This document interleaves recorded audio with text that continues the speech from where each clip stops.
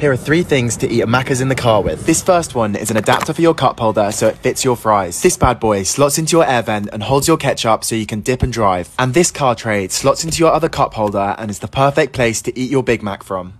Some sellers are making thousands selling products like this. Here's how. They find a suitable product using Helium 10. Next, they go to Alibaba and search for a trusted supplier. Then send it to an Amazon warehouse, where Amazon takes care of shipping, handling, and customer service. For free trading, click the link in my bio.